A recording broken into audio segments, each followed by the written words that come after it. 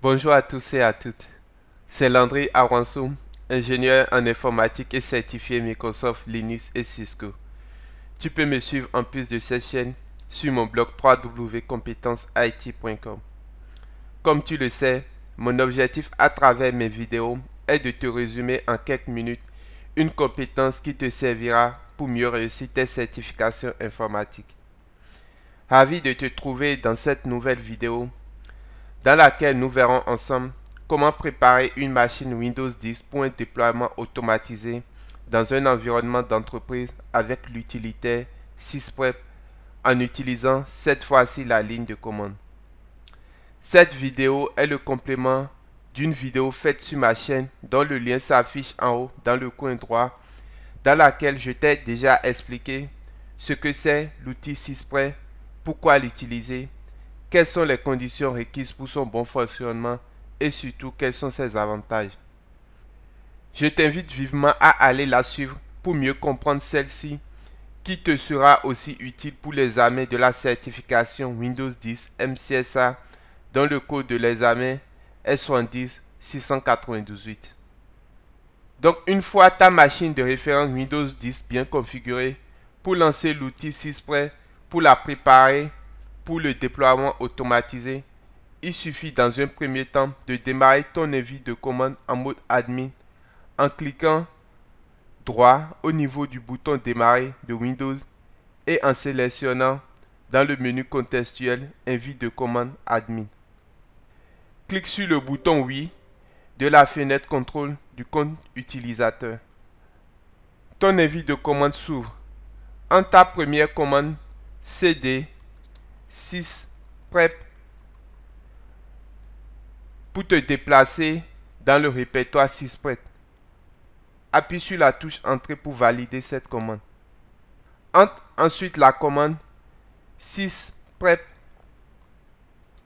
suivi de l'option OOBE qui est un paramètre qui va lancer l'écran de bienvenue de Windows 10 au prochain redémarrage.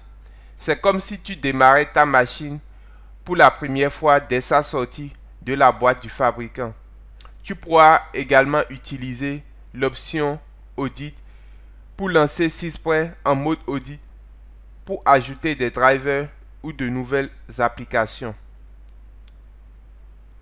Continue ta commande en mettant l'option Généralise qui est un paramètre qui va permettre à Sysprint de supprimer toutes les données spécifiques de ta machine source, comme son nom, ses points de restauration, ses journaux d'événements, etc. Rappelle-toi surtout dans la version graphique de Sysprint qu'il s'agit de l'option de la case à cocher.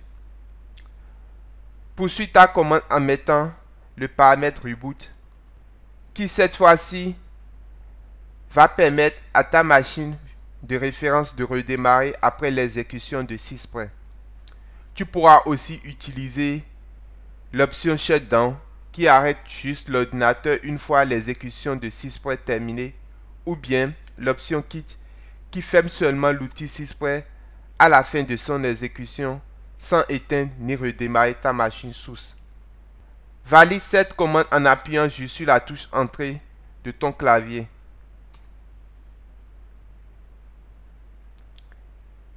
Le processus d'exécution de l'utilitaire SysPrep démarre et peut prendre plusieurs dizaines de minutes en fonction de ton matériel.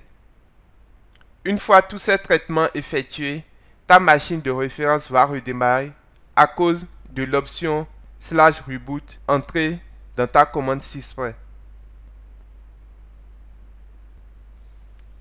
Après redémarrage de ta machine source, tu as cet écran de Windows 10 où tu devras mettre tes différentes informations comme tu faisais ta première installation.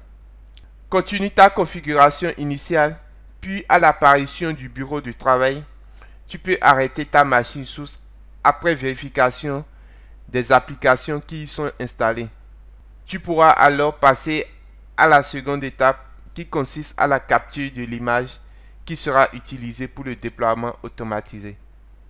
Nous sommes arrivés à la fin de cette petite vidéo dans laquelle je t'ai montré comment préparer un ordinateur de référence Windows 10 pour un déploiement automatisé avec l'outil Sysprey via la ligne de commande. Merci pour ton attention. Abonne-toi à ma chaîne pour être au courant de mes nouvelles vidéos. Partage cette vidéo pour permettre à d'autres administrateurs système de me découvrir.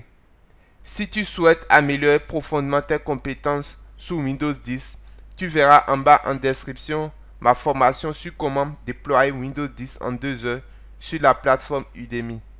Mets ta question en bas en commentaire si tu n'as pas compris une partie de cette vidéo et je serai ravi de te répondre.